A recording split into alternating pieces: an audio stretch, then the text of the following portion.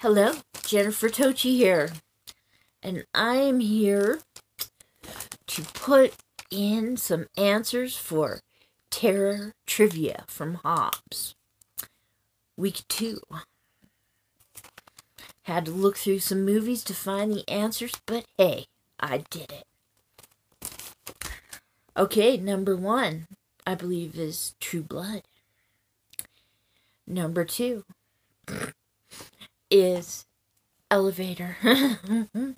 Poor Hobbs, yes. Number three, Rod Sterling. Number four, Hereditary. And number five, Belinda Carlisle. So I hope I got everything right.